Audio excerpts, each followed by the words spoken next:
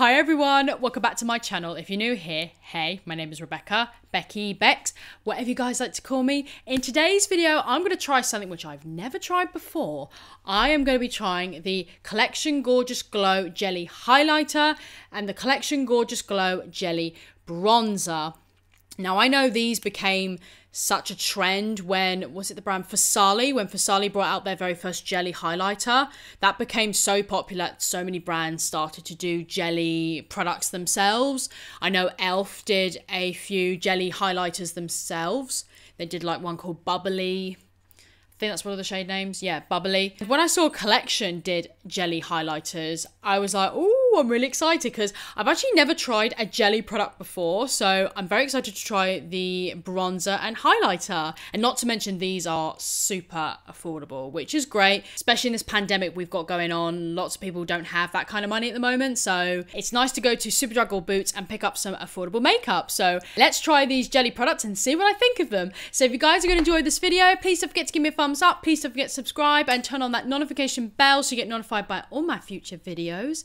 Don't forget to follow me on Instagram if you like. Link is in the description bar below. If you guys want to know my thoughts on the Collection Jelly Highlighter and Bronzer, just keep watching. All right, guys. So I hope you guys don't mind the crazy fashion I've got going on at the moment. I've got like the unicorn hair bow and black flower in my hair. I wanted to wear something unicorny, but I also like gothic fashion at the same time. So this is the sort of way I want to interpretate both of them together. So yeah, I hope you guys like the crazy combination I've got going on with my hair. Anyway, so on the Superdrug website, the bronzer and highlighter, they both retail for $5.99, so they're very, very affordable. Doesn't really say much about them. It pretty much says exactly the same what's on the actual packaging. It just says bouncy jelly bronzer for face and body. So you can pretty much use this on the body as well. So I'd say for like deeper skin, you could use this as like a, a, a glow from within highlighter. For us much fairer people, we we use this as a highlighter. But it's kind of cool, so you can use this all over the body and on your face. So that's kind of cool. So I I'm going to start with the bronzer. It's a very weird texture. Ooh, it really is like jelly. I don't know if you guys will be able to see that. That is just, it's slipping out of the pot. That is just so satisfying. I really don't, I'm, I'm weird, okay? I'm just weird. Doesn't have a smell. It's not fragranced in any way.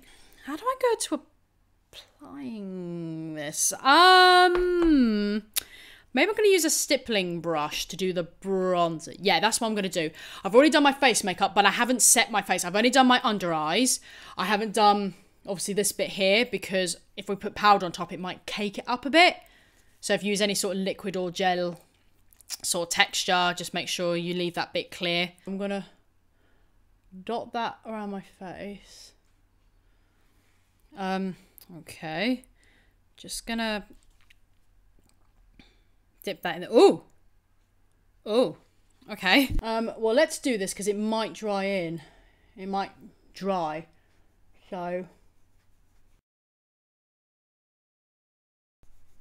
Oh, by the way, I've already got cream blusher on, by the way. So if you're noticing the glow in the cheeks, that's why.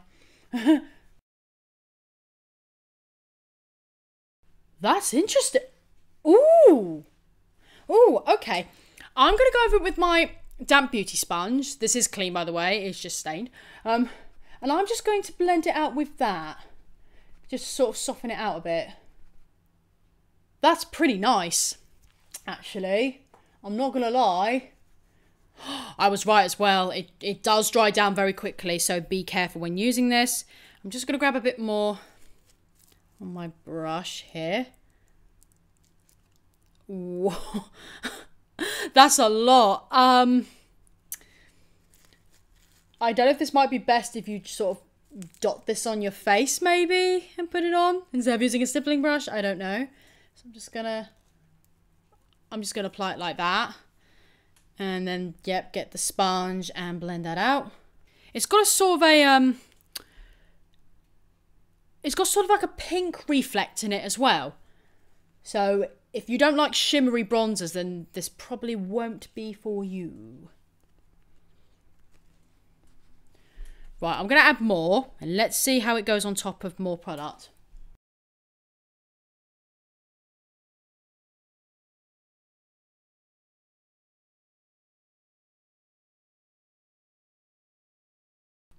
It's very nice. It's a very subtle bronzy glow.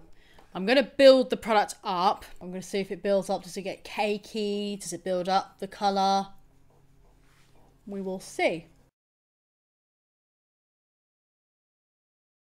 Well, it certainly doesn't look cakey. It's not building up the colour anymore, but why would you want it built up? This is pretty much intense as it is, so...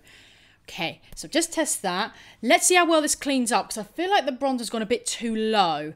So, I'm going to grab my concealer. This is the Revolution Pro concealer. And we're going to see how well this cleans up. That's why sometimes it's very good not to put powder on. So if you make mistakes, you can always sharpen them out. I'm going to use my sponge again, just using the tip.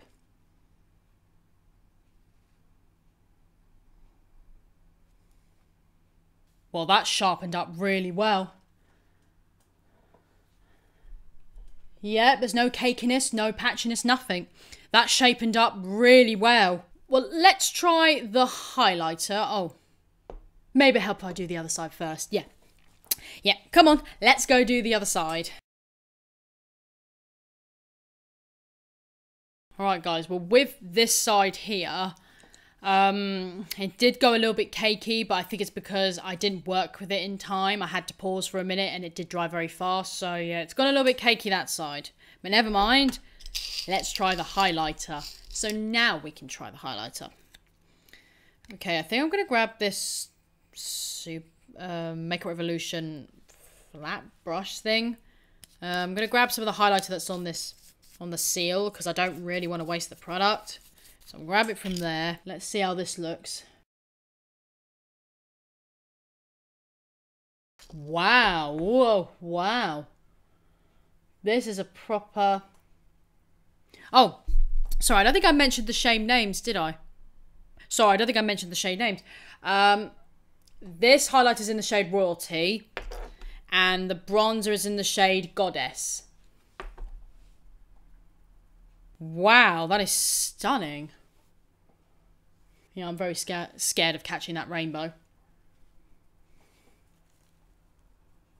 Let's build it up. Let's see what it's like built up. That's absolutely stunning. That's that is pure intense. Even liquid highlighters don't justify this. Oh my god. Oh, that is pretty. Right, I'm now going to do the other side.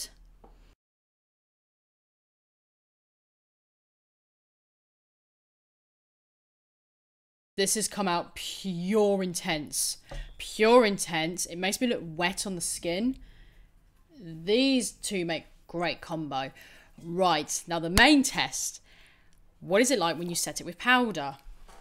So, I'm going to grab a powder brush, grab my Makeup Gallery Smoothly Does It powder in sand. This is the real test. This is if you if it's actually going to cake up or it's going to disappear. So let's see, shall we?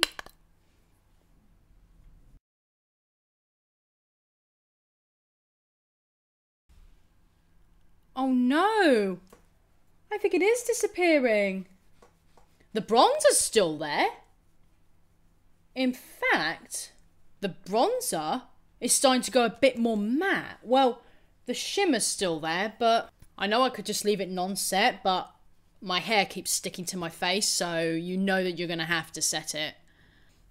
Okay, on closer observation, um, the bronzer, really nice. It's set really nicely. You could still see a bit of the shine from the bronzer, but you know it's there. The highlighter, I'm disappointed. It's sort of disappeared. Oh. Didn't want it to disappear. Well, still has intenseness, but okay. Well, it's it's toned it down anyway. I mean, for people who don't want an intense highlighter, it's definitely toned it down for those kind of people. I mean, you could still see it. It adds that sort of light sparkle to the skin. I mean, in natural light, it would look really lovely. On the monitor, you can still see the shine. So I reckon in natural lighting, this will look really, really nice. But in real in in real life, it actually is really, really toned down. Hmm. Interesting, interesting. Right, I'm going to zoom back out and I'll let you guys know my final thoughts. Hiya guys, so my final thoughts on the Collection Jelly Go bronzer and highlighter. I'm going to start with the highlighter. The highlighter, as you guys saw, was so intense. When I first put it on, it was blinding. It really was. It was super intense. And unfortunately, as I set it with powder, it has faded. But when I tested this in natural lighting, it actually came out really stunning. I would show a video clip of it, but my skin just looks, it's not the greatest at the moment and it's quite textured in, in every little way. Um, but I went outside and tried this with natural lighting and it is absolutely gorgeous. In natural lighting, this is really, really pretty. And I was a bit cheeky and I kind of went in with my brush, even though I've already set my face with powder, just to see if it intensified in any way, if it caked up in any way. And I didn't go in with any access product. I just went in with the access that's on the brush. And it has built up a little bit. You guys can see it, it there is a shine there. So it has definitely built up. I would not recommend this while your face is powdered because it will cake up really, really bad. But it is really, really nice. Don't overdo it because if you overdo it, you will cake up. I think I did that with this side. I did overdo the bronzer and it did start to cake up. So please don't overdo it like I did. I did want to build it up to see if it did do that in any way because I know some of them do that, some of them don't. And this one did. So try not to overbuild it if you can. The bronzer, the bronzer was gorgeous actually. When I set it with powder, it just gives you that real nice shadow on the face. It's really, really nice. It does tone down a lot of the shimmer that's inside this product. It does tone it down.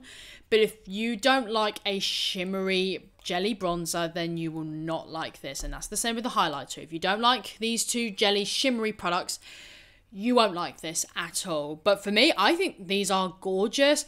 I would just say use like a brush like I did or any brush you or any sort of like maybe like a dome brush or anything buff it in and then just get your beauty sponge and just sort of smoothing it out a bit but do it how you think is best. My only advice is do not powder your face when using these and do not use too much of the product. But apart from that, these two are gorgeous. They are really, really nice. They give this nice glow to the skin. They're very sparkly. And like I said, and it says on there, you can use it on the body as well. So that's quite nice. So when you want to go out, you can put it on your body and it gives you a nice bit of glow. So that's a bit of a fun touch. So yeah, I really, really like these. They're super affordable. And yeah, best jelly products I've used. so if you guys have enjoyed this video, please don't forget to give me a thumbs up. Please don't forget to subscribe and turn on that notification bell so you get notified by all my future videos. Don't forget to follow me on Instagram if you like. Link is in the description bar below. Thank you guys so much for watching. Have a great day and I'll see you all in my next video. Bye guys.